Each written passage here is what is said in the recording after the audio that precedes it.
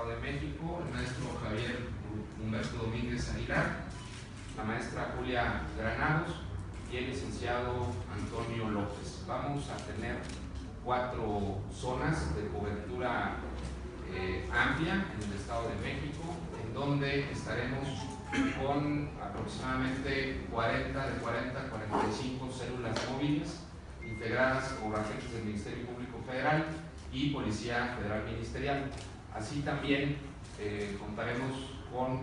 el apoyo de la Policía Federal Preventiva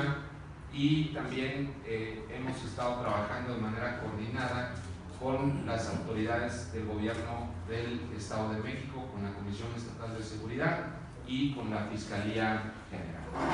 Eh, a grandes rasgos, trataremos de cubrir en estas cuatro zonas todos los municipios del Estado de México para el caso de que exista necesidad. Sin embargo, eh, trataremos de estar en los municipios más poblados del Estado de México, de toda la zona conurbada y el